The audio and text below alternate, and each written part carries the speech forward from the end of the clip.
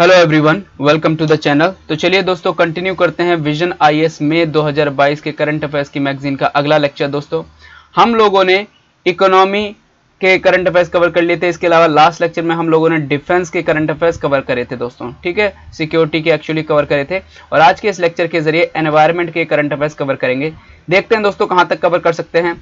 लेकिन उससे पहले अगर आपने हमारे चैनल को अभी तक सब्सक्राइब नहीं करा, दोस्तों प्लीज़ कीजिए और वीडियो को लाइक करना मत भूलिए। चलिए एनवायरमेंट का पहला टॉपिक समझते हैं और एनवायरमेंट का हमारा पहला टॉपिक है COP fifteen of United Nation convention to combat desertification जिसको शॉर्ट में यूएनसीसीडी कहा जाता है। तो इसका फुल फॉर्म आपको पता होना चाहिए। United Nation convention to combat desertification का दोस्तों, अभी कॉप फिफ्टीन हुआ था, यानी कॉन्फ्रेंस ऑफ़ पार्टीज़ की पंद्रहवीं मीटिंग हुई थी। समझते हैं ये न्यूज़ में क्यों आ गया? Fifteenth session of conference of parties जिसको कॉप 15 कहा जाता है शॉर्ट में of United Nation convention to combat desertification concluded recently तो मैंने बताया ना, अभी पंद्रहवीं मीटिंग हुई थी, जिसकी वजह से ये टॉपिक न्यूज़ में आ गया है। अब समझ लेते हैं यूएनसीसीडी के बारे में और डिटेल में। यूएनसीसीडी को दोस्तों स्टेब्लिश करा गया था 1994 में। ये एक sole legally binding international agreement है। इंपॉर्टेंट लाइन है, याद कर लीजिए इस लाइन को। ये एक सोल है मतलब एक मात्र एग्रीमेंट है, और ये बाइंडिंग है इंटरनेशनल एग्रीमेंट ठीक है? और linking environment and development to sustainable land management तो दोस्तों, नाम से ही पता है, इससे हम लोग जो है सस्टेनेबल लैंड मैनेजमेंट करवाना चाहते हैं इस एग्रीमेंट के ज़रिए। टोटल दोस्तों, इस कन्वेंशन की 197 पार्टीज़ हैं, ठीक है? मेंबर हैं including 196 countries parties and European Union तो याद रखिए 196 कंट्रीज़ हैं, और एक क्या है? यूरोपियन यूनियन है तो टोटल 197 मेंबर्स हैं। इंडिया भी आपको पता होना चाहिए यूएनसीसीडी का सिग्नेटरी है। यूएनसीसीडी फोकस करता है किस पे? कि हम लोग जो है कोऑर्डिनेटेड तौर पर एक्शन लेंगे, ताकि to put the world on the path to land degradation and carbon neutrality तो दोस्तों, आपको पता है दुनिया जो है लैंड को एक तरीके से बहुत खराब कर जा रही है। तो हम कोऑर्डिनेटेड मैटर में कोऑर्डिनेटर कोऑर्डिनेटेड मैनर में ऐसे एक्शन लेना चाहते हैं ताकि लैंड डिग्रेडेशन वो कम हो और कार्बन न्यूट्रलिटी भी हो सके। ठीक है? कॉप 15 जो अभी मीटिंग हुई थी, ये अभी दजान में हुई थी, ठीक है? कोटे दी व्योर और थीम जो थी कॉप 15 की, वो थी लैंड लाइफ लेगेसी। तो याद रखिए, ये थीम थी from scarcity to prosperity. The COP the COP has been meeting biennially since 2001 तो याद रखिए, जो कॉप की मीटिंग है, ये बाई एनली होती है। कब से? 2001 से, दोस्तों। ठीक है? आई होप आपको इतना क्लियर हुआ होगा। अब समझ लेते हैं कि आउटकम्स क्या आए 2015 मतलब ये पंद्रहवीं मीटिंग से क्या की आउटकम निकल कर आए हैं। पहला है न्यू कमिटमेंट्स कौन कौन सी नई कमिटमेंट करी गई हैं इस पंद्रहवीं मीटिंग में? देख लीजिए।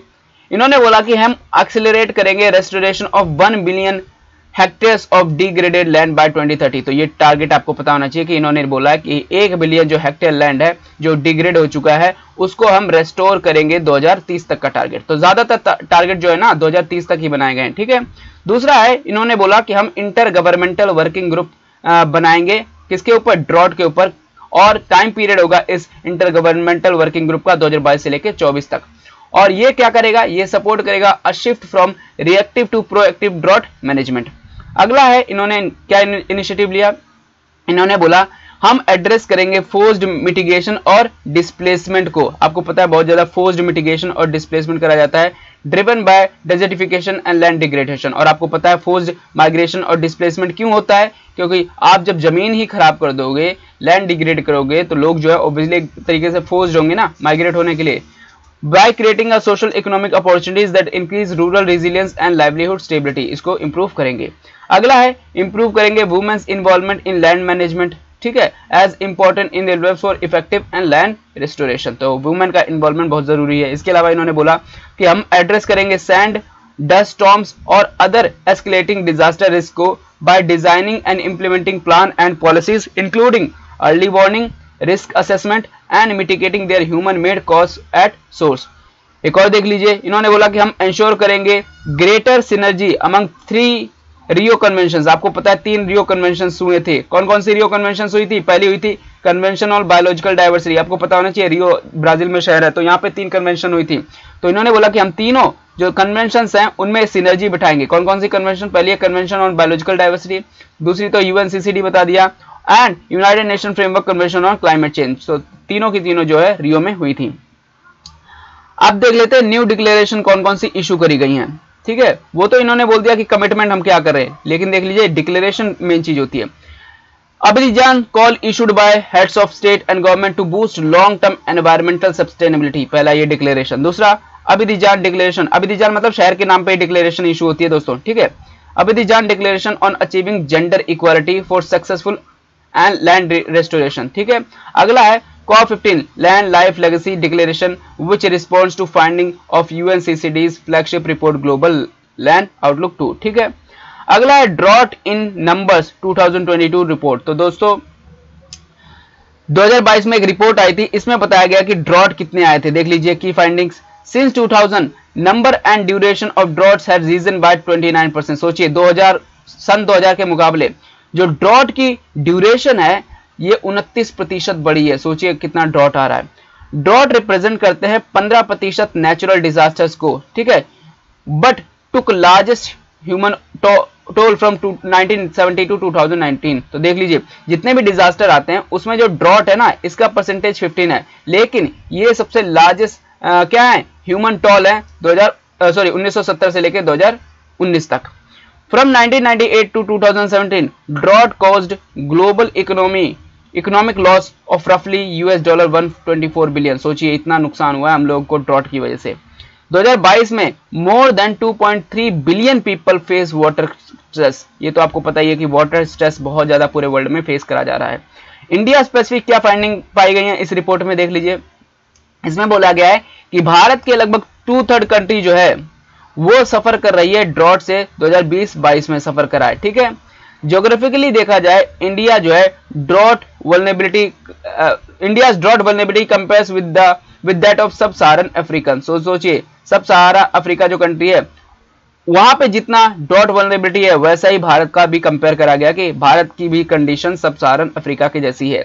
Severe droughts are estimated to have reduced India's gross domestic product by 2 to 5 percent from 1998 to 2017 तो ऑब्वियसली हमारी जीडीपी में तो कम, कमी आई ही है ड्रॉट की वजह से। कुछ अदर इनिशिएटिव देख लेते हैं जो लिए गए हैं इसी को टैकल करने के लिए।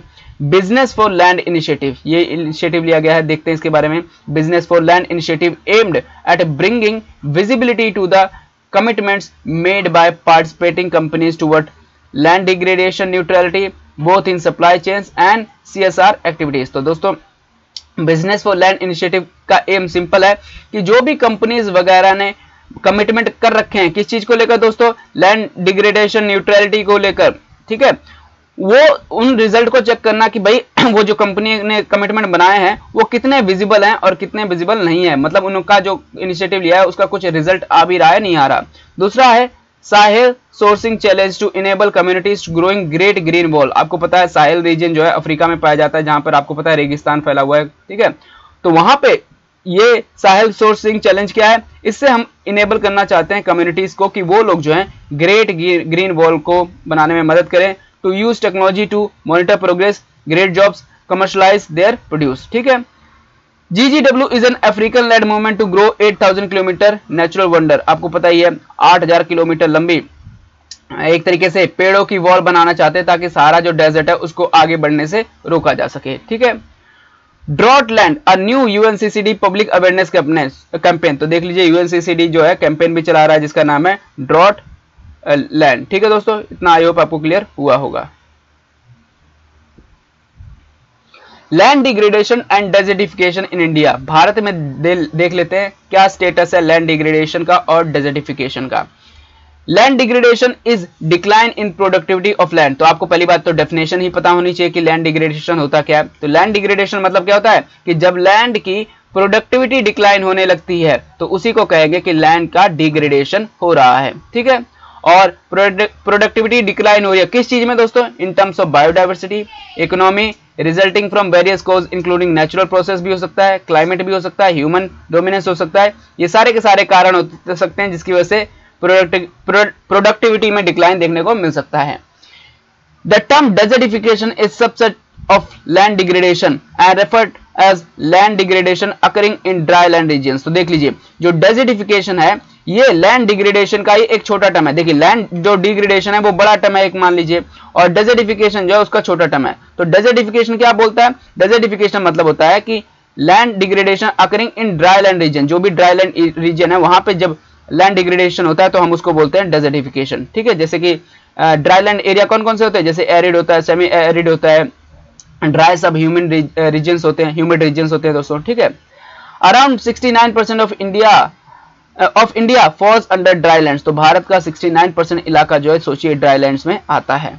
अराउंड 98 मिलियन हेक्टेयर अगर परसेंटेज में बात करी जाए तो 30 percent of India total geographical area जो है, अगर नंबर में बात करी जाए तो 328.7 mega hectares underwent land degradation during 2018-19 सोचिए 2018-19 में ही 30 प्रतिशत जो है भारत का एरिया कहा, कैसे चला गया? लैंड डिग्रेडेशन में चला गया। अराउंड 23.79 परसेंट दो हज़ार की बात हो रही है। Of the area undergoing desertification land degradation with respect to total geographical area of the country is contributed by Rajasthan, Maharashtra, Gujarat, Karnataka Ladakh UT Jharkhand, Odisha, Madhya Pradesh, Telangana, in descending order सोचिए, जो भारत का 23.79 percent जो area जो कि desertification बन रहा है या लैंड डिग्रेडेशन जिसका हो रहा है, ये कहाँ कौन कौन से राज्यों में पाया जाता है? राजस्थान में सबसे ज़्यादा, महाराष्ट्र, गुजरात, कर्नाटका, लद्दाख, ये ऑर्डर वाइज है डिसेंडिंग ऑर्डर वाइज ठीक है दोस्तों, आप समझ में गए होंगे कि इन स्टेट्स में लैंड डिग्रेडेशन सबसे ज़्यादा हो रहा है। Other remaining state are contributing less than one percent individually with respect to country's total geographical area जो बाकी स्टेट्स बचे हैं, उनमें लगभग वन परसेंट जो है लैंड डिग्रेडेशन हो रहा है। अब देख लेते हैं इंपैक्ट क्या होगा। अगर भारत में ऐसे ही लैंड डिग्रेडेशन होता रहा डेजर्टिफिकेशन होता रहा तो इसका इंपैक्ट क्या होगा? तो पहला तो आपको पता ही है सोशियो इकोनॉमिक इंपैक्ट आएगा। जैसे कि रिड्यूस होगा लैंड प्रोडक्टिविटी ऑब्वियसली रिड्यूस कर, हो जाएगा land ability to store water obviously जब आपका लैंड डिग्रेडेशन होगा डेजर्टिफिकेशन होगा तो वाटर कहाँ से स्टोर हो पाएगा? अगला है insecure land revenue land tenure ठीक है? देख लीजिए इनसिक्योर लैंड टेन्योर क्या है? Affects the ability of people and communities to fight climate change which is further endangered by land degradation अगला है exaggerates existing societal tension and force mitigation अगला impact क्या होगा? ह्यूमन हेल्थ पे भी impact आएगा। क्यों ह्यूमन हेल्थ पे इंपैक्ट आएगा? क्योंकि दोस्तों, आपको पता है, बहुत सारी जूनोटिक डिज़ीज़ पैदा होंगी। ठीक है? Water and food borne disease पैदा होंगी एंड रेस्पिरेटरी डिज़ीज़ भी पैदा होंगी। लैंड डिग्रेडेशन की वजह से। ठीक है डेजर्टिफिकेशन होगा तो ऑब्वियसली डिज़ीज़ तो पैदा होंगी होगी। Respiratory disease caused by atmospheric dust obviously बहुत सारा जब लैंड डिग्रेडेशन हो जाएगा तो उसमें डस्ट बनेगा, जिसकी वजह से एटमोस्फेरिक डस्ट आएगा और जिसकी वजह से रेस्पिरेटरी डिज़ीज़ भी देखने को मिलेंगे दोस्तों। ठीक है पॉल्यूटेंट की वजह से। Higher threats of malnutrition from reduce food obviously जब आपका लैंड डिग्रेडेशन होगा तो फ़ूड की जो उत्पादन है, वो भी कमी में आएगी और फ़ूड की उत्पादन में जब कमी आएगी तो मेल न्यूट्रिशन देखने को मिलेगा। ठीक है रिड्यूस्ड फ़ूड और वाटर सप्लाई भी देखने को मिलेगा। More water and food borne disease ठीक है ऑब्वियसली ज़्यादा वाटर और फ़ूड बॉर्न डिज़ीज़ आएँगे। That result from poor hygiene and lack of clean water environmental impact क्या क्या होगा, देख लीजिए। कॉज करेगा एक्सट्रीम वेदर इवेंट्स ऑब्वियसली जब लैंड डिग्रेडेशन होगा बायोडाइवर्सिटी का लॉस हो जाएगा तो ऑब्वियसली एक्सट्रीम वेदर इवेंट्स तो देखने को आपको मिलेंगे ही मिलेंगे। ऑब्वियसली इसके अलावा क्लाइमेट चेंज भी देखने को मिलेगा। ठीक है? जब लैंड डिग्रेडेशन होगा तो लैंड डिग्रेडेशन आपको पता है एक बहुत बड़ा ड्राइवर है क्लाइमेट चेंज का। Through emission of greenhouse gases and reduced ability to of land to act as a carbon sink obviously जब लैंड जो है डिग्रेड हो जाएगा तो उस, वो जो है लैंड वो कार्बन सिंक के तौर पर भी काम नहीं करेगा। बहुत सारा आपको पता है कार्बन जो है लैंड में सिकुड़ जाता है, लेकिन अब लैंड ही जो है ड्राई हो गया है डिग्रेड हो गया तो कहाँ से होगा? तो वे फॉरवर्ड में हम क्या लिख सकते हैं? वे फॉरवर्ड में हम लिख सकते हैं कि दोस्तों, हमको यूटिलाइज करना चाहिए लोकल और इंडिजिनस नॉलेज को, ताकि हम जो है एड्रेस कर सके लैंड डिग्रेडेशन को, ठीक है? इसके अलावा मल्टी फंक्शनल लैंडस्केप अप्रोच अपनानी चाहिए, ताकि हम प्रायोरिटाइज करें और बैलेंस कर prioritising and balancing different stakeholders needs at a landscape scale while identifying those land uses in land use planning that best meets the demands of people towards safeguarding biodiversity. और way forward में लिख सकते हो कि create हमको create करना चाहिए wind breaks को। ठीक है? विंड ब्रेक्स आपको पता है बहुत सारे जो डेजर्ट होता है, उसको आगे बढ़ाती रहती है। जैसे एग्ज़ाम्पल ले लीजिए राजस्थान। राजस्थान का ऐसा माना जा रहा है कि जो डेजर्ट है थार मरुस्थल हमारा, वो दूसरे राज्यों में भी फैल रहा है। पंजाब, हरियाणा वगैरह में फैल रहा है धीरे धीरे क्यों? क्योंकि हवाएँ चलती हैं उसको खींच के ले जाती हैं। तो देख लीजिए हम कैसे कर सकते हैं विंड ब्रेक्स को? हम लोगों को पेड़ लगाना पड़ेगा बहुत सारे, ठीक है? Tree planting ecosystem restoration programmes that can function as green walls ये ग्रीन वॉल्स के तौर पर काम कर सकते हैं ग्रीन डैम्स के तौर पर काम कर सकते हैं, जो कि रिड्यूस करेंगे डस्ट और सैंड स्टॉम को और सैंड ड्यून मूवमेंट को, जो सैंड आगे बढ़ रही है, उसको रोका जा सकता है। ऐसे ही अफ्रीका में भी चलाया जा रहा है ना, मैंने बताया, आठ हज़ार किलोमीटर ग्रीन, लंबी ग्रीन वॉल बिल्ड करी जा रही है अफ्रीका में। अगला वे फॉरवर्ड में लिख सकते हो इंप्रूविंग एग्रोनॉमिक्स प्रैक्टिसेस तो हम लोगों को एग्रोनॉमिक्स प्रैक्टिसेस ग्री ठीक है? एग्रोनॉमिक प्रैक्टिसेस इंप्रूव करनी है। जैसे कि such as retention of residues reduce करना है टिलेज को, ठीक है? Use of locally adapted varieties करना इस्तेमाल। इंटरक्रॉपिंग करनी है क्रॉप रोटेशन करना है इंटीग्रेटेड सॉइल फर्टिलिटी मैनेजमेंट ये सारे के सारे एग्रोनॉमिक प्रैक्टिसेस में इंप्रूवमेंट करना है। हमको प्रमोट करना है एग्रो फॉरेस्ट्री ठीक है? एग्रो फॉरेस्ट्री आपको पता है ना? एग्रीकल्चर प्लस फॉरेस्ट्री दोनों। Through policy and institutional intervention such as research and development करनी पड़ेगी। Development and provision of quality planting material price support instrumental और मैकेनिज्म इन सबको इंप्रूव करना पड़ेगा। सस्टेनेबल फॉरेस्ट मैनेजमेंट भी करना पड़ेगा। सस्टेनेबल फॉरेस्ट मैनेजमेंट का एम सिंपल है। प्रोवाइड करना टिम्बर को भी फाइबर को भी बायोमास को भी नॉन टिम्बर को भी resources can provide long term livelihood for communities reduce करना है risk of forest conversion to non forest uses ठीक है तो इसी को कहते हैं सस्टेनेबल फॉरेस्ट मैनेजमेंट मतलब देखिए फॉरेस्ट का इस्तेमाल कीजिए, कोई मनाही नहीं है, लेकिन इस तरीके से कीजिए कि फॉरेस्ट जो है पूरी तरीके से खत्म ना हो। ठीक है? अदर इंटरनेशनल इनिशिएटिव और स्कीम्स को देख लेते हैं पॉलिसीज़ को देख लेते हैं, जो कि इसको लेकर ली गई हैं लैंड डिग्रेडेशन को। पहला है global initiative on reducing land degradation इसका एम सिंपल है स्ट्रेंथन करना और स्ट्रेंथन करना the implementation of existing framework to prevent halt reverse land degradation degradation within G twenty member states and globally तो देख लीजिए तो इसका एम सिंपल है कि रिड्यूस करना, ये सब कुछ करना इंप्लीमेंट करना एग्जिस्टिंग फ्रेमवर्क को ताकि प्रिवेंट कराया जा सके हॉल्ट कराया जा सके लैंड डिग्रेडेशन को जी ट्वेंटी मेंबर कंट्री में और ग्लोबली लेवल पे भी। ठीक है? Initiative launch under the UNCCD तो यूएनसीसीडी के अंतर्गत कौन कौन से इनिशिएटिव लॉन्च करे गए हैं। पहला है लैंड डिग्रेडेशन न्यूट्रलिटी ठीक है? Target setting programme UNCCD is supporting interested countries जिसमें भारत भी है with their national land degradation neutrality target setting process अगला है लैंड डिग्रेडेशन न्यूट्रलिटी फंड भी बनाया गया है। Officially launched at UNCCD COP 13 तो दोस्तों कॉप जब 13 की मीटिंग हुई थी, तब इसको लॉन्च करा गया था और इसके ज़रिए हम लेवरेज करना चाहते हैं पब्लिक मनी को to raise private capital for sustainable land projects अगला जो इनिशिएटिव लिया गया है यूएनसीसीडी द्वारा, वह है लैंड फॉर लाइफ प्रोग्राम इसके ज़रिए हम seeks to address the challenge of land degradation desertification and mitigation of drought तो ये इसका एम है सिंपल सा। ठीक है दोस्तों? अगला है दोस्तों बॉन चैलेंज बॉन चैलेंज आपको पता है लॉन्च करा गया था by the government of Germany and I U C N in 2011 तो याद रखिए 2011 में शुरू करा गया था बॉन चैलेंज जर्मनी और आयुसेन द्वारा। ये एक global it is a global goal to bring 150 million hectares of degraded and deforest landscape into restoration by 2020 and 350 million hectares by 2030 तो ये इसका टारगेट है कि जो भी 150 मिलियन हेक्टेयर डिग्रेडेड लैंड हो चुका है। इसको 2020 तक रेस्टोर करना है और 315 मिलियन हेक्टेयर लैंड को 2030 तक रेस्टोर करना है। तो बोन चैलेंज आपको पता होना चाहिए, लैंड को रेस्टोर रेस्टोर करने के लिए है। इंडिया ने भी प्लच कर रखा है कि हम लोग रेस्टोर करेंगे 21 मिलियन हेक्टेयर ऑफ़ डिग्रेडेड और डिफोरेस्टेड लैंड 2030 तक। तो ये भारत का टारगेट है। भारत के टारगेट के बारे में आपको पता होना चाहिए। Reducing emission from deforestation and forest degradation जिसको शॉर्ट में रेड प्लस कहा जाता है। तो रेड प्लस आपको पता होना चाहिए, इसमें क्या है? हम दोस्तों इससे रिड्यूस करना चाहते हैं एमिशन फ्रॉम डिफोरेस्टेशन और फॉरेस्ट डिग्रेडेशन से। देख लीजिए initiative by UNFCC creates a financial value for the carbon stored in forestry by offering incentive to developing countries to reduce emission from forested land and invest in co, low carbon paths to sustainable development ये इसका M है simple सा। ठीक है दोस्तों I hope आपको clear हुआ होगा।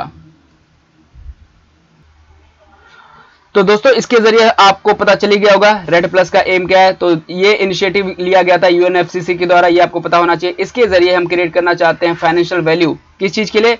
For carbon stored in forest by offering incentive for developing countries to reduce emission from forest land and invest in low carbon paths to sustainable development अगला है इंडियाज इनिशिएटिव स्कीम्स और policies अब देख लेते हैं, भारत ने कौन कौन से इनिशिएटिव या स्कीम पॉलिसीज़ ली हैं। देख लीजिए, पहला है India promotes sustainable land management practices in agriculture sector तो भारत ने ऑब्वियसली एक पॉलिसीज़ अपना रखी कि हम लोग जो है सस्टेनेबल मैनेजमेंट प्रैक्टिसेस को अपनाएँगे एग्रीकल्चर सेक्टर में। और कैसे अपनाएँगे? क्योंकि तो भारत सरकार ने बहुत सारी स्कीम लॉन्च करी है, जैसे कि देख लीजिए, प्रधानमंत्री फ़सल बीमा योजना लॉन्च कर रखी है सॉइल हेल्थ कार्ड लॉन्च कर रखी है, प्रधानमंत्री कृषि सिंचाई योजना शुरू कर रखी है पर ड्रॉप मोर क्रॉप तो ये सारी की सारी स्कीम आप याद कर सकते हो। एक और देख लीजिए, भारत ने जो इनिशिएटिव लिया है, वो है ISRO's desertification and land degradation land degradation atlas तो भारत का जो इसरो है, इसने लैंड डिग्रेडेशन एटलस तैयार करा है मैप तैयार करा है। देख लीजिए of entire country to provide data for policy makers तो ऑब्वियसली जब हमारे पास मैप होगा प्रॉपर डाटा होगा, उसी के हिसाब से हम पॉलिसी बना पाएँगे। तो इसरो ने अच्छा काम करा है। अगला है sustainable land and ecosystem management programme जिसको शॉर्ट में स्लैम कहते हैं। स्वयं प्रोग्राम क्या है? सस्टेनेबल लैंड और ecosystem management programme which is jointly implemented by government of India and global environment facility तो ये दोनों मिलकर इस इनिशिएटिव को लॉन्च कर कर दिया इन लोगों ने। और इसका एम सिंपल है प्रमोट करना सस्टेनेबल लैंड और इकोसिस्टम मैनेजमेंट को। ठीक है? तो यहाँ पे कुछ एडिशनल इंफॉर्मेशन भी दी हुई है, इनको भी देख लेते हैं दोस्तों। ठीक है? आई होप आपको डेजर्टिफिकेशन वाला पूरा का पूरा कॉन्सेप्ट क्लियर हुआ होगा। लेकिन यहाँ पे थोड़ा एडिशनल इन्फॉर्मेशन दी है, इसको समझ लेते हैं। सस्टेनेबल डेवलपमेंट गोल कनेक्शन तो आपको पता है, हम लोगों ने एसडीजी गोल सेटअप कर रखे हैं, जो टोटल सत्रह एस गोल हैं, जिनको हमें 2030 तक अचीव करना है। तो सस्टेनेबल डेवलपमेंट गोल कनेक्शन भी देख लेते हैं। सस्टेनेबल डेवलपमेंट गोल नंबर पंद्रह क्या कहता है? पंद्रह गोल कहता है कि life on land calls for the protection restoration sustainable management of land based ecosystem तो दोस्तों, ये जो गोल है, अभी यूपी पीसीएस एग्ज़ाम में पूछा भी गया था कि बताओ लैंड डिग्रेडेशन को लेकर जो एसडीजी गोल नंबर क्या है? तो गोल नंबर पूछा था तो आपको पता होना चाहिए पंद्रवा गोल नंबर है, ठीक है? In doing so target 15.3 specifically aims to achieve the land degradation तो दोस्तों, जो पंद्रवा गोल है पंद्रवा का अगर स्पेसिफिकली बात करा जाए तो 15.3 जो है, ये जो गोल है सिंपल सा एम इसका यही है कि लैंड डिग्रेडेशन जो है, उसको कम करना है 2030 तक, ठीक है? Drivers and causes of land degradation and desertification कौन कौन से कारण हैं जिसकी वजह से लैंड डिग्रेडेशन होता है डेजर्टिफिकेशन होता है? ये मेंस के परस्पेक्टिव से ज़्यादा इंपॉर्टेंट है, देख लीजिए। पहले तो नेचुरल ड्राइवर्स और यहाँ पे एंथ्रोपोजेनिक ड्राइवर्स यानी ह्यूमन बोल सकते हो ह्यूमन इन्फ्लुएंस नेचुरल में बात करी जाए तो विंड इरोजन बहुत बड़ा कारण है, दूसरा वाटर इरोजन ठीक है? इसके अलावा chemicals natural occurrence of alkaline chemicals movement of the subsoil chemicals example salinity to the surface ये कारण है। फ़िज़िकल कारण जो नेचुरल के अंदर ही आते हैं, वो है फ़िज़िकल का क्या है? वाटर लॉकिंग हो गया जियोमोर्फोलॉजिकल हो गया changes caused by mining and other activity अगला है हजारडस हजारडस में आ जाता है, जैसे फॉरेस्ट फायर लग जाती है साइक्लोन आ जाता है ड्रॉट आ जाता है, ये भी लैंड डिग्रेडेशन कॉज करते हैं. अगला है परमाफ्रेस्ट थॉइंग ये भी बहुत बड़ा कारण है. एंथ्रोपोजेनिक कारण की बात करी जाए तो पहला एग्रीकल्चर एंड रिलेटेड एक्टिविटीज़ हैं, जैसे कि overuse of fertiliser improper soil management eutrophication shifting cultivation etcetera ये ह्यूमन कारण है। प्रेशर ऑफ़ पॉपुलेशन पॉपुलेशन बढ़ती है, उसकी वजह से भी लैंड डिग्रेडेशन होता है। लाइफ स्टॉक ग्रेजिंग ऑब्वियसली ये भी कारण है। लैंड यूज़ चेंजेस आपको पता है लैंड का अलग अलग तरीके से इस्तेमाल हो रहा है, जैसे कि हैबिटेशन के तौर पर माइनिंग के तौर पर इंडस्ट्रीज़ के तौर पर डिफोरेस्टेशन के तौर पर, जिसकी वजह से लैंड बहुत ज़्यादा डिग्रेड हो रहा है। क्लाइमेट चेंज एक बहुत बड़ा कारण है, और ये भी एक ह्यूमन मेड कारण है। पॉल्यूशन तो आपको पता है ह्यूमन ही करते हैं। Prevalent process responsible for desertification land degradation in the country 2018-19 तो देख लीजिए कौन कौन से कारण हैं जिसकी वजह से भारत में लैंड डिग्रेडेशन हो रहा है? ये 2018-19 का डाटा है। देख लीजिए वाटर इरोजन की वजह से देखिए वाटर इरोजन 11 परसेंट अकाउंट करता है। वहीं वेजिटेशन डिग्रेडेशन की वजह से 9 परसेंट जो है लैंड डिग्रेडेशन हो रहा है। विंड इरोजन 6 परसेंट कंट्रीब्यूट करता है। वहीं अदर जो है अदर में क्या क्या जाता है? Salinity waterlogging frost shattering mass movement ये 74 परसेंट कंट्रीब्यूट करते हैं लैंड डिग्रेडेशन को लेकर। ठीक है? अब देख लेते हैं कुछ सक्सेसफुल प्रैक्टिसेस जो कि अपनाई गई हैं और जिसकी वजह से हम लोगों ने देखा है रिज़ल्ट की लैंड डिग्रेडेशन जो है कम हो रहा है। उन सस्टेनेबल प्रैक्टिसेस को भी देख लेते हैं। ये आप मेंस में लिख सकते हो। जैसे कि इन जामनी विलेज इन तेलंगाना तेलंगाना का एक जामनी विलेज है। यहाँ पर people cultivated vegetables kitchen gardens that improved overall productivity तो यहाँ पे याद रखिए, इन लोगों ने किचन गार्डन्स बनाए जिन्होंने, जिसकी वजह से लैंड की प्रोडक्टिविटी काफ़ी इंप्रूव हुई है। दूसरा है दोस्तों रन ऑफ़ कच्छ, गुजरात में एक बर्नी रीजन है। कौन सा region Bernie region land restoration was done by developing grass land which help in achieving land degradation neutrality तो यहाँ पे दोस्तों ग्रास लैंड डेवलप करे गए, जिसकी वजह से लैंड डिग्रेडेशन न्यूट्रलिटी अचीव करी गई। वहीं घाना की बात करी जाए तो घाना में दोस्तों community and land management groups बनाए गए, ठीक है? और इनको ट्रेन करा गया एम्पावर करा गया as community educators in sustainable land management like formulation of participatory land use plan establishment of S L M committees तो ये घाना में प्रैक्टिस अपनाई गई। वहीं क्यूबा की बात करी जाए आफ्टर सीवर ड्रॉट ड्यूरिंग 2014-17 तो दोस्तों क्यूबा में ड्रॉट देखे गए थे 2014 से 17 में। New varieties of crops that are resistance to extreme weather including tomato onion garlic were encourage encouraged that help in reversing land degradation obviously यहाँ पे नई वेराइटी जो है क्रॉप की वो इंट्रोड्यूस करी गई, जिसकी वजह से लैंड डिग्रेडेशन में रिवर्स देखने को मिला। इसके अलावा कुबिकी डेजर्ट इन ओडोस इसकी बात कर लेते हैं। इनर मंगोलिया, ये इनर मंगोलिया में आता है। इसने अचीव करा large scale desertification control through policy support industrial investment market oriented participation of farmers and herdsmen ठीक है? अगला टॉपिक है हमारा, वो है सस्टेनेबल सिटी डेवलपमेंट समझते हैं sustainable city development topic news में क्यों आ गया। हाल ही में UN Habitat has identified multi hazard vulnerabilities urban sprawl weak urban mobility and green blue disconnect as pressing issues for Jaipur city तो दोस्तों जयपुर सिटी को लेकर ये सारी की सारी चीज़ें बोली गई हैं, क्योंकि यूएन हैबिटेट ने बोला कि हाल ही हाल ही में यूएन हैबिटेट ने बोला कि जो जयपुर सिटी है, यहाँ पे मल्टी हज़ार वल्नेबिलिटीज देखने को मिली है, जैसे कि अर्बन स्प्रॉल है वीक अर्बन मोबिलिटी है ग्रीन ब्लू डिस्कनेक्ट है तो ये सारे के सारे इश्यूज़ जो है जयपुर सिटी में ही देखने को मिले जयपुर सिटी ही एकमात्र नहीं है, दोस्तों, बहुत सारे शहर हैं, ये बहुत, जहाँ पर सस्टेन मतलब जो सिटी एक तरीके से वल्ले बहुत सिटीज़ जो है, वो वल्नेबल देखने को मिली हैं। इसके बारे में और समझते हैं more on news UN Habitat has based its based its findings on sustainable city integrated approach pilot जिसको एससीआईएपी प्रोजेक्ट कहा जाता है। तो इस प्रोजेक्ट के आधार पर ही इन्होंने जयपुर के बारे में ये सारी की सारी चीज़ें बताई हैं। As part of which sustainable urban planning and management component was implemented in collaboration with the Jaipur development Authority and Jaipur Greater Municipal Corporation, ठीक है? अब समझ लेते हैं भाई सस्टेनेबल सिटी होता क्या है? ठीक है सस्टेनेबल सिटी की बात करी जा रही है तो होता क्या है? तो दोस्तों, एक सस्टेनेबल सिटी वो सिटी है जो कि डिज़ाइन करी गई है to address social environmental economic impact through urban planning city management तो देख लीजिए, आप किसी सिटी को इस तरीके से डिज़ाइन कर रहे हो प्लान कर रहे हो मैनेज कर रहे हो, जिससे आप सोशल इश्यूज़ भी एड्रेस कर रहे हो, ठीक है? एनवायरमेंटल इश्यूज़ भी हैंडल कर रहे हो इकोनॉमिक इंपैक्ट भी हैंडल कर रहे हो तो हम कहेंगे कि वो सिटी जो है, क्या है? सस्टेनेबल सिटी है, ठीक है? A sustainable city offers a good quality of life to current residents, but doesn't reduce the opportunities for the future residents to enjoy. तो ऑब्वियसली आपको पता है सस्टेनेबल की अगर आपको डेफिनेशन पता है तो सस्टेनेबल की डेफिनेशन यही है कि आप अभी तो अपनी जो जरूरतें हैं नीड्स हैं, उनकी पूरा करो, लेकिन अपनी जरूरतों को पूरे करते समय इतना मत करने लग जाना कि जो फ्यूचर की फ्यूचर जनरेशन आने वाली है, उसकी ही नीड्स को खत्म कर दो। तो यही बोला जा रहा है कि सस्टेनेबल सिटी ऑफ़र करती है गुड लाइफ अभी करंट रेजिडेंट्स को, लेकिन ये रिड्यूस नहीं करती opportunities for future residents to enjoy ठीक है? की sustainability issues faced by Indian cities तो कौन कौन से सस्टेनेबिलिटी इश्यूज़ हैं जो भारत के शहर जो हैं, वो फेस करते हैं? पहला है green house gas emission and climate change ये बहुत बड़ा इशू फेस करा जाता है सस्टेनेबिलिटी इशू ठीक है? With growing population and energy demand in fast developing Indian cities आपको पता है पॉपुलेशन जो है भारत के शहरों में इंक्रीज हो रही है, जैसे दिल्ली, मुंबई शहरों में, और यहाँ पे एनर्जी की डिमांड बहुत ज़्यादा बढ़ती जा रही है।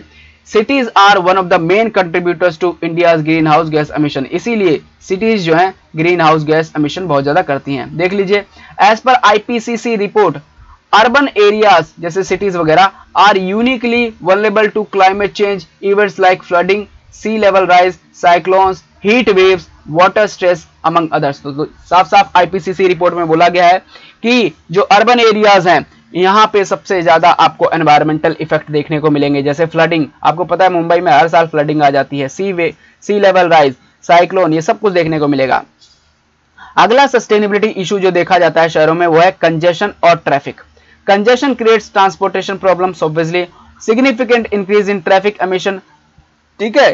greenhouse gas and other are pollutant emission leading to increase in overall greenhouse gas emission and poor air quality.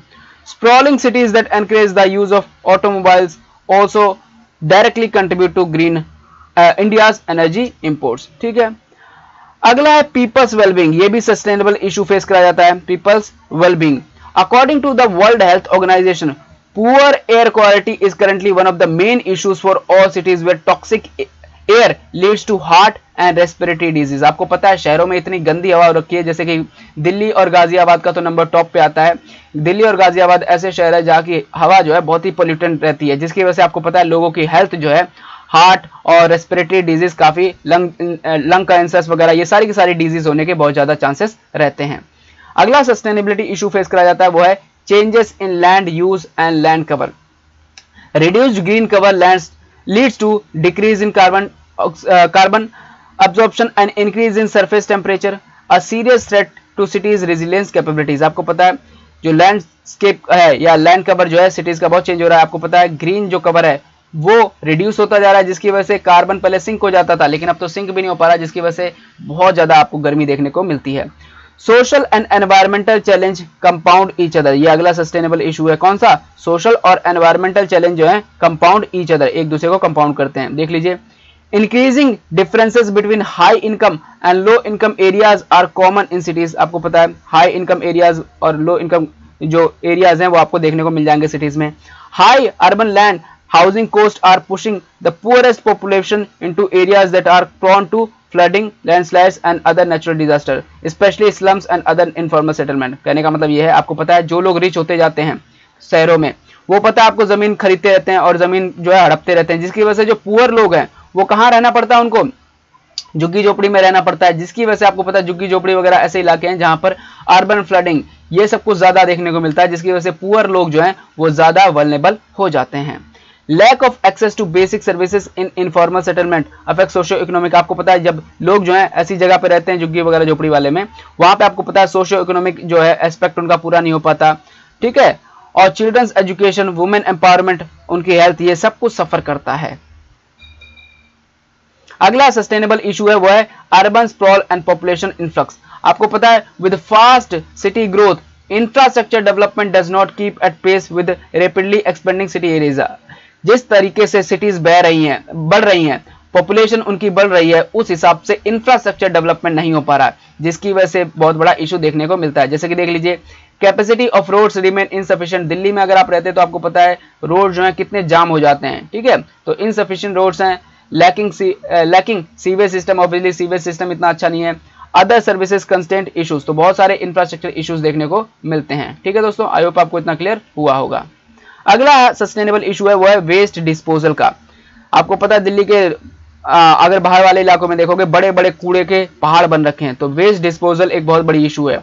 Many cities do not have proper system and facilities to collect और utilise solid waste and most of the waste are dumped usually into rivers into open drains causing inland water bodies to be polluted and water extracted unfit to human consumption Yamuna का आप example ले सकते हो अच्छे से, क्योंकि यमुना में आपको पता है सारा का सारा गंदा जो फैक्ट्री का पानी है, वो भी जाता है, कूड़ा करकट भी वहाँ जाता है, जिसकी वजह से जो वाटर बॉडीज हैं, वो खराब हो जाती हैं। और जब वाटर बॉडीज या रिवर वगैरह खराब हो जाती हैं, जिसकी वजह से पता है आपको अर्बन फ्लडिंग देखने को मिलेगा। भाई, जब पानी जो है रिवर्स में नहीं जाएगा रिवर्स में क्यों नहीं जाएगा? क्योंकि वहाँ पे ऑलरेडी आपने कूड़ा करकट कर रखा है तो जिसकी वजह से बारिश में क्या होगा? अर्बन फ्लडिंग देखने को मिलेगा। अब देख लेते हैं स्टेप्स कौन कौन से लिए गए हैं गवर्नमेंट के द्वारा to overcome some sustainability problems occurring in cities तो हमने देख लिया कौन कौन से सस्टेनेबल सस्टेनेबिलिटी प्रॉब्लम्स हैं इन सस्टेनेबिलिटी प्रॉब्लम्स को ओवरकम करने के लिए कौन कौन से इनिशिएटिव लिए गए हैं? पहला है initiative under India I and D C targeting direct और indirect green house gas emission reduction and developing climate change adaptation capabilities this include देख लीजिए, पहला हम लोगों ने नेशनल स्मार्ट ग्रिड मिशन चलाया है। दूसरा national mission for enhanced energy efficiency चला रखा है। एनर्जी कंजर्वेशन बिल्डिंग कोड हम लोगों ने अपना रखे हैं। National electric mobility mission plan 2020 भी तैयार करा था। ठीक है? स्वच्छ भारत मिशन आपको पता है, भारत में चलाया जा रहा है, जिसके ज़रिए हम लोग जो है, जो भी वेस्ट जनरेशन की प्रॉब्लम है, उसको सॉल्व करना इसका मेन एम है स्वच्छ भारत मिशन का। ठीक है? और कैसे फोकस करेंगे दोस्तों? मेन फोकस एरिया कौन कौन से हैं? स्वच्छ भारत मिशन के हाउस होल्ड पे है कम्युनिटी पे है पब्लिक टॉयलेट्स पे है as well as solid waste management इन चारों पे फोकस है। Atal mission for rejuvenation and urban transformation जिसको शॉर्ट में अमृत कहा जाता है, ये भी गवर्नमेंट के द्वारा स्कीम चलाई गई है इस स्कीम का एम सिंपल है इंप्रूव करना वाटर सप्लाई को वेस्ट वाटर मैनेजमेंट को मोबिलिटी इंप्रूव करना है, और ग्रीन एरियाज़ डेवलपमेंट करना है, ये अमृत प्रोग्राम का एम है। सोलर सिटीज़ प्रोग्राम भी चलाई जा रही हैं और इस प्रोग्राम का फोकस जो है रिन्यूएबल एनर्जी पर है, ठीक है? कि हम लोग जो है रिन्यूएबल एनर्जी डेवलप कर सकें एनर्जी एफिशिएंसी मेजर अपना सकें। और कितने सिटीज़ में? लगभग 60 60 भारत की 60 शहर जो है, वो सिलेक्ट करे गए हैं दोस्तों, ठीक है? अगला, प्रधानमंत्री आवास योजना चलाई जा रही है फॉर ऑल आपको पता है a technology submission under the mission facilities adoption of modern innovative green technologies building material for faster quality construction of houses suitable for various geo-climate zones. It also assists cities in deploying disaster uh, resistant and environmental friendly technologies ठीक है? तो प्रधानमंत्री आवास योजना के तहत आपको पता है BPL जो फैमिली है बिलो पॉवर्टी लाइन उनको घर बना के दिया जाएगा और ये घर जो है बनाया जाएगा डिफरेंट डिफरेंट टेक्नोलॉजीज़ का इस्तेमाल करके। अगला है स्मार्ट सिटीज़ मिशन ये भी चलाया जा रहा है भारत के द्वारा। और स्मार्ट सिटी मिशन के ज़रिए हम फोकस करना चाहते हैं डेवलपमेंट ऑफ़ कोर इंफ्रास्ट्रक्चर पे ठीक है? और improvement of quality of life in cities with a clean, sustainable environment as well as applications of smart solutions. ठीक है? तो हमने देख लिया ये सारे के सारे टॉपिक अब यहाँ पे कुछ एडिशनल इंफॉर्मेशन दी हुई हैं। इसको भी समझ लेते हैं। About sustainable cities integrated approach pilot जिसको S C I A P short कहते हैं, इस प्रोजेक्ट के बारे में जान लेते हैं। इस प्रोजेक्ट का ऑब्जेक्टिव क्या है? इसके ज़रिए हम इंटीग्रेट करना चाहते हैं sustainability strategies into urban planning and management दूसरा ऑब्जेक्टिव है क्रिएट करना एक favourable environment for investment in infrastructure and service delivery और अगला ऑब्जेक्टिव है बिल्ड करना resilience of pilot cities implementation and funding procedure देख लेते हैं इस प्रोजेक्ट को इंप्लीमेंट और फंडिंग करने के लिए क्या प्रोसीजर है? ठीक है? Implemented by United Nations Industrial Development Organization and UN Habitat in partnership with Ministry of Housing and Urban Affairs. तो ये तीनों मिलकर इंप्लीमेंट कर रहे हैं। और इसको फंड करा जा रहा है ग्लोबल एनवायरमेंट फैसिलिटी के द्वारा। Very very important world bank से कंफ्यूज मत कर लीजिएगा। It is being implemented in five Indian cities कौन कौन सी? जयपुर में, भोपाल में, विजयवाड़ा, गुंटूर, जो कि आंध्र प्रदेश में आता है, दोनों के दोनों, और मैसूर इन पाँच सिटीज़ में इंप्लीमेंट करा जाएगा। की फोकस एरियाज़ क्या है, देख लीजिए, की फोकस एरिया क्या है? असिस्ट करना cities to take action and implement sustainable planning दूसरा है सस्टेनेबल इन्वेस्टमेंट प्रोजेक्ट करना। अगला है capacity building and knowledge transfer activities पे फोकस करना। अगला है towards achieving goal of the different national mission of government of India specially Swachh Bharat mission project के आउटकम क्या क्या है, देख लीजिए। इसके ज़रिए रिड्यूस रिड्यूस हुआ है cities green house gas emission through investment projects and low emission and environmentally sound technology demonstration अगला है increase scope and depth of the integrated urban sustainability management अगला है promotion of sustainable cities through partnership approach ठीक है?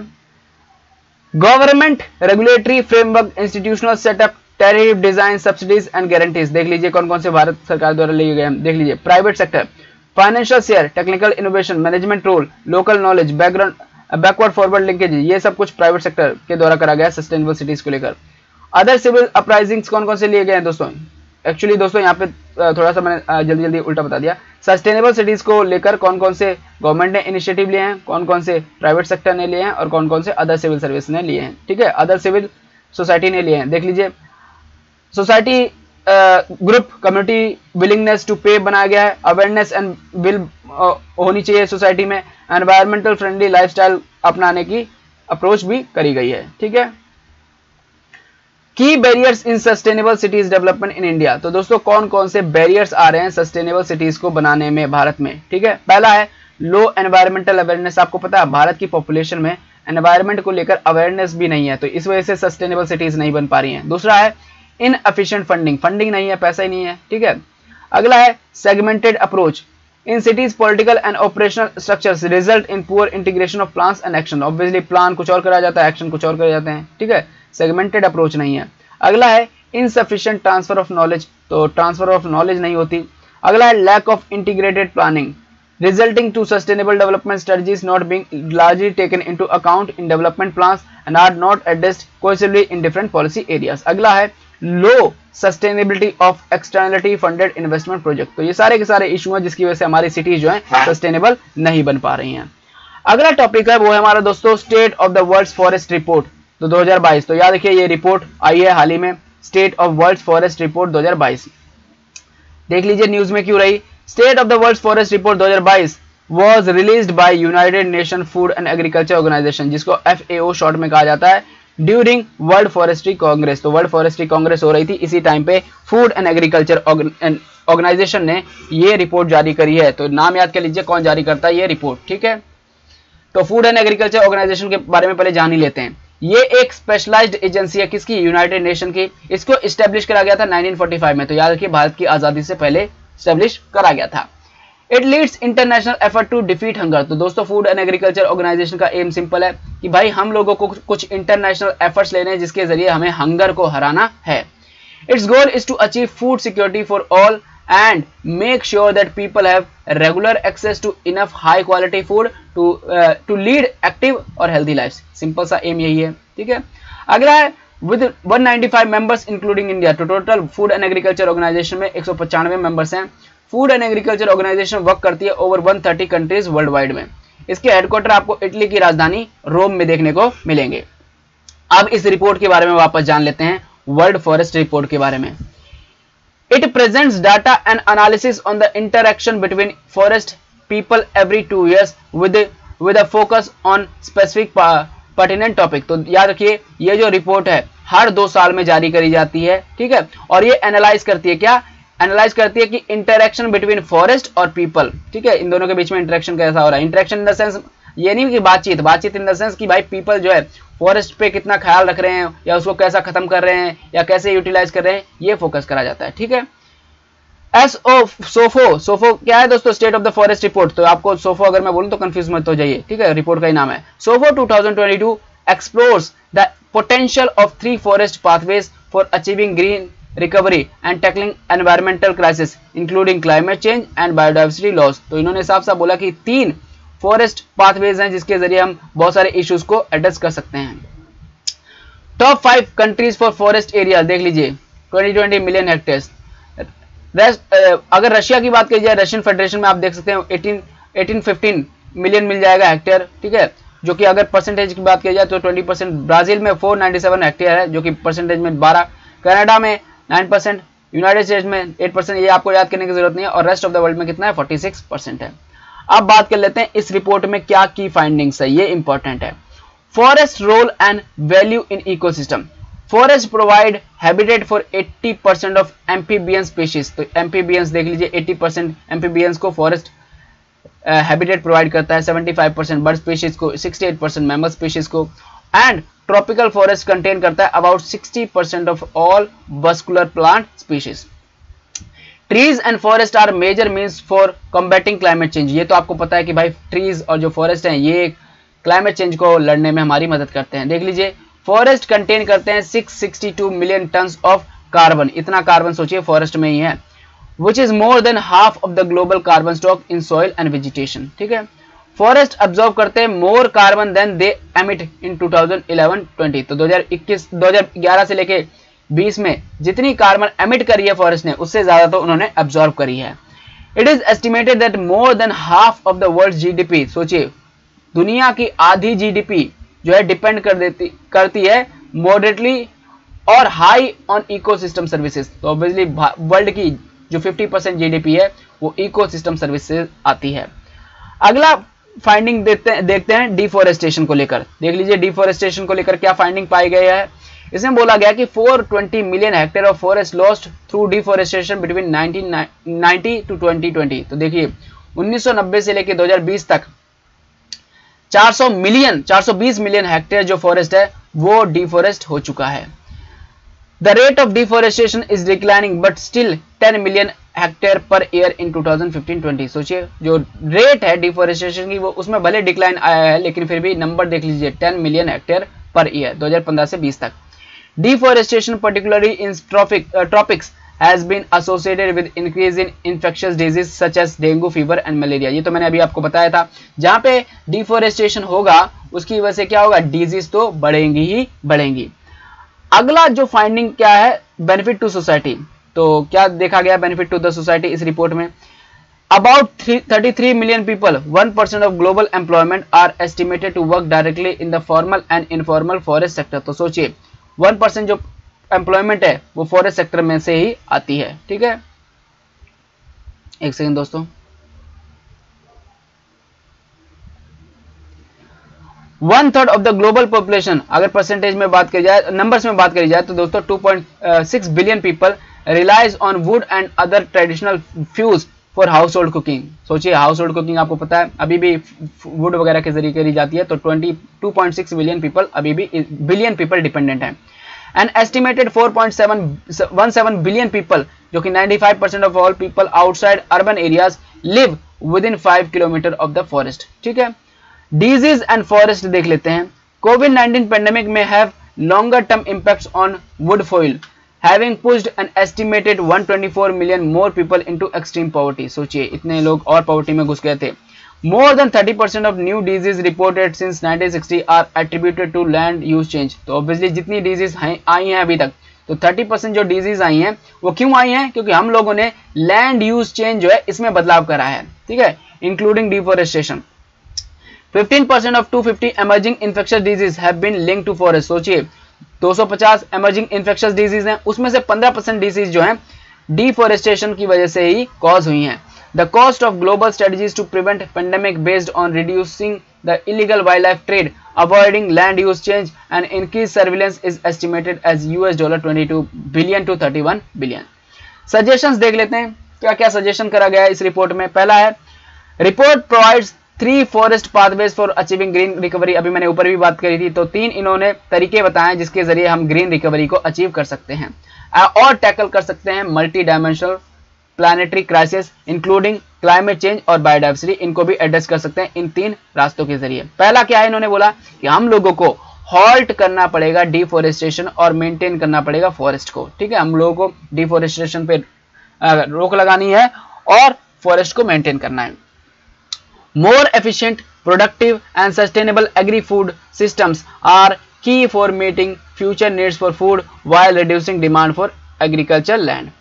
Multi-stakeholder engagement is crucial uh, crucial for progress in halting deforestation. Obviously आप deforestation को अकेले मिलकर नहीं रोक सकते आपको dimensional multi stakeholder approach अपनानी पड़ेगी दूसरा इन्होंने स्टेप बोला है क्या स्टेप बोला है कि दूसरा इन्होंने स्टेप बोला है कि restoring degradation degraded lands and expanding agroforestry तो हम लोगों को क्या करना पड़ेगा? रिस्टोर करना पड़ेगा डिग्रेडेड लैंड्स को और एक्सपेंड करना पड़ेगा एग्रोफोरेस्ट्री को। तभी हम जो है, जो भी इश्यूज़ आ रहे हैं, उसको सॉल्व कर सकते हैं। देख लीजिए। According to one estimate the restoration of 350 million of hectare of deforested land degraded land by 2030 ये तो मैं बता चुका हूँ टारगेट भी रखा है बॉन्ड के तहत could deliver a net benefit of US dollar 0.7 to nine trillion इतना बेनिफिट पहुँचा सकता है अगर हम लोगों ने ये टारगेट 350 मिलियन का अचीव कर लिया है। ठीक है? इवन इन वर्स्ट के scenario investing in restoration would return a financial profit of two third ecosystem types ये भी हमें फ़ायदा होगा। अगला इन्होंने बोला, ये स्टेप उठाओ जिसकी वजह से आपको फ़ायदा फ़ायदा पहुंचेगा। वो कौन सा स्टेप है? Sustainably using forest and building green value change तो सस्टेनेबल तरीके से यूज़ करना और बिल्ड करना ग्रीन वैल्यू चेंज को। Sustainably meeting rising demands will entail increase in supply through restoration, reforestation, afforestation or degraded lands. Non-food bio-based industries are estimated to grow by 3.3% per year to 2030. A diverse range of emerging forest-based uh, bioproduct has the potential to tap its growth including biochemicals, bioplastic and textile. The involvement of smallholders, local communities and indigenous people in forest pathways is essential. ठीक है? तो ये सारे के सारे step तीन बोले हैं जिसके ज़रिए हम इश्यूज़ एड्रेस कर सकते हैं। अब इसी से रिलेटेड न्यूज़ और देख लेते हैं कौन कौन सी रिलेटेड न्यूज़ रही है। पहला है global forest resource assessment remote sensing survey जिसको शॉर्ट में F R A twenty twenty R S S कहा जाता है। इसको रिलीज़ करा गया है हाल ही में किसके द्वारा? फ़ूड एंड एग्रीकल्चर ऑर्गेनाइजेशन के द्वारा रिलीज़ करा गया है। अब देख लेते हैं इसमें की क्या फाइंडिंग पाई गई है। पहला है ग्लोबल फॉरेस्ट कवर देखा, देखने को क्या मिला? इन्होंने बोला the world has a total forest area कितना का है? 4.06 बिलियन हेक्टेयर्स का है which is 31 percent of total land area तो टोटल लैंड एरिया का 31 परसेंट ये फॉरेस्ट पे फॉरेस्ट पाया जाता है। The tropical domain has the largest proportion of the world forest आपको पता है भाई, जो ट्रॉपिकल वाला इलाका है, यहाँ पे सबसे ज़्यादा वर्ल्ड के लार्जेस्ट फॉरेस्ट पाए जाते हैं। लगभग कितना? 45 परसेंट उसके बाद बोरियल पाया जाता है, उसके बाद टेम्परेट में फॉरेस्ट पाए जाते हैं, उसके बाद सब ट्रॉपिकल डोमेन में पाए जाते हैं। डिफोरेस्टेशन को लेकर क्या फाइंडिंग पाई गई है? इन्होंने बोला rate at which forest are disappearing slowed by nearly thirty percent तो दोस्तों दोस्तों, इन्होंने बोला कि जो रेट है, दर है डिफोरेस्टेशन की उसमें कमी देखने को मिली है। कितने? 30 परसेंट की कमी देखने को मिली है, लेकिन अभी भी डिफोरेस्टेशन हो रहा है। From the first decade of the century to the period from the 2010 to 2018 highest deforestation in 2000 से 2018 occurred in South America followed by Africa तो इन्होंने बोला सबसे ज़्यादा जो डिफोरेस्टेशन देखने को मिला है, वो साउथ अमेरिका में साउथ अमेरिका में देखने को मिला है, उसके बाद अफ्रीका में। Africa had the largest annual rate of the net forest loss net forest loss की बात करिए तो सबसे ज़्यादा अफ्रीका में देखने को मिला है। And Asia had the highest net gain of the forest area तो एशिया में सबसे ज़्यादा नेट गेन देखने को मिला है फॉरेस्ट एरिया में 2010 से 20 के मुकाबले। मेन ड्राइवर्स ऑफ़ डिफोरेस्टेशन क्या क्या है? इन्होंने बोला क्रॉप लैंड एक्सपेंशन आपको पता है एग्रीकल्चर बहुत ज़्यादा बढ़ रहा है, जिसकी वजह से डिफोरेस्टेशन हो रहा है, ठीक है? Is the main driver of deforestation causing almost 50 percent of global deforestation उसके बाद आता है लाइफ स्टॉक ग्रेजिंग जो कि अकाउंट करता है 38 परसेंट तो सबसे बड़ा तो आपको पता है एग्रीकल्चर ही होगा। तो दोस्तों, यहाँ पे कुछ एडिशनल इन्फॉर्मेशन दी हुई है, इसको भी थोड़ा सा समझ लेते हैं। ये वैसे तो नहीं, कोई भी एडिशनल इन्फॉर्मेशन नहीं है, मैंने सारा का सारा बता दिया। तो दोस्तों, आज का लेक्चर यहीं पे रोकते हैं, थोड़ा सा लेक्चर लंबा हो गया, कोई बात नहीं। तो अगला टॉपिक जो है नेशनल पॉलिसी ऑन बायोफ्यूल्स 2018 इसको अगले लेक्चर में कवर करेंगे। अगर आपको लेक्चर पसंद आया तो लाइक कीजिए और चैनल को सब्सक्राइब करना मत भूलिए।